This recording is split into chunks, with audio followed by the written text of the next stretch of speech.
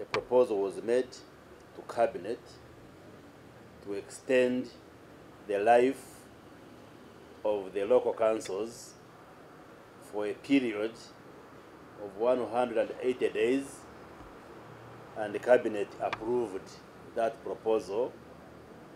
But then what follows next is that we shall have to seek approval of the same from parliament and uh, once the statutory instrument has been laid in the parliament and is approved, then the Minister of Local Government will issue a notice to the public, a notice of the extension of the term of the local council.